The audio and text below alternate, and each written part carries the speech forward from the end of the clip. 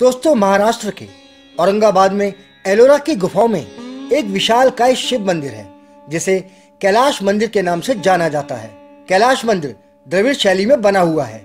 इस मंदिर का निर्माण आज से सात सौ सत्तावन ईसा पूर्व राष्ट्रकूट वंश के राजा कृष्ण प्रथम ने करवाया था।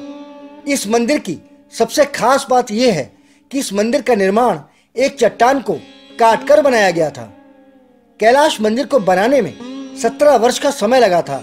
जबकि इस मंदिर का निर्माण वर्तमान समय से करवाया जाए तो सात हज़ार मजदूर और डेढ़ सौ वर्ष का समय लगेगा।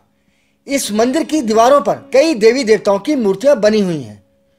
इस मंदिर का आकार हिमालय पर्वत में मौजूद कैलाश पर्वत की तरह दिया गया है, क्योंकि राजा कृष्ण का मानना था कि यदि कोई कैलाश पर्वत का दर्शन नहीं कर पाए तो वो इस मंदिर के दर्शन करके, कैलाश पर्वत के दर्शन करने का सुख प्राप्त कर सकता है। इस मंदिर के अंदर एक शिवलिंग है, जो मिट्टी का बना हुआ है, जिसके कारण लोगों को इसकी पूजा करने के लिए मना किया जाता है। लेकिन फिर भी कई लोग इस मंदिर के बाहर से ही फूल आदि मंदिर परिसर में चढ़ाते हैं।